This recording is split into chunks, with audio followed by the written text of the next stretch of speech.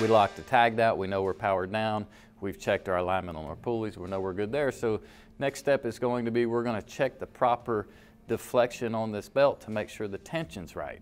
And so this is a Browning belt tensioning tool.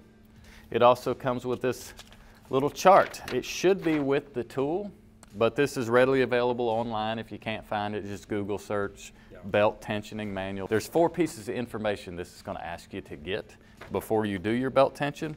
Belt type, is it a new or used belt?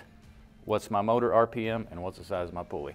I looked up my chart and it tells me I should have eight pounds of deflection. So when I use this tool, there's a couple things I have to set on it first.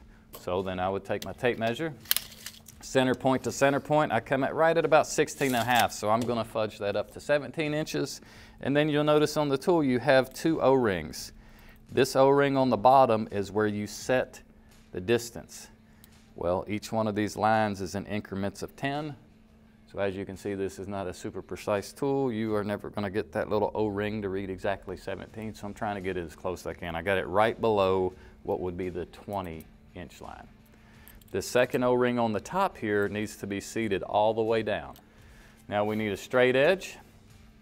We need to set that guy up there where it's riding on top of our belt. Yeah, so after we've made our measurements and we've set where we need to be here, we've run this top O-ring all the way to the bottom. We know we're right about 17 inches. We need to take our reading from about the center point of between these two pulleys on this belt. So somewhere roughly about right in there. You don't want to be close to this end or that. You need it to be right about in the center of the two belts to get proper deflection.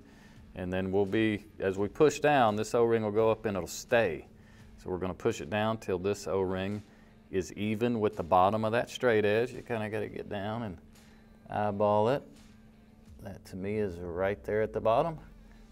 Looks like we're sitting right at about eight pounds oh, of pressure that it took me to this. So Johnny boom, it's nailed. Johnny on the spot.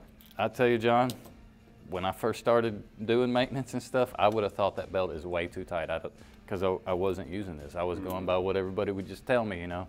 You get trained a certain way and that's the way you start doing things. I would have thought that belt was way too tight, but in fact, it's right there where it needs to be.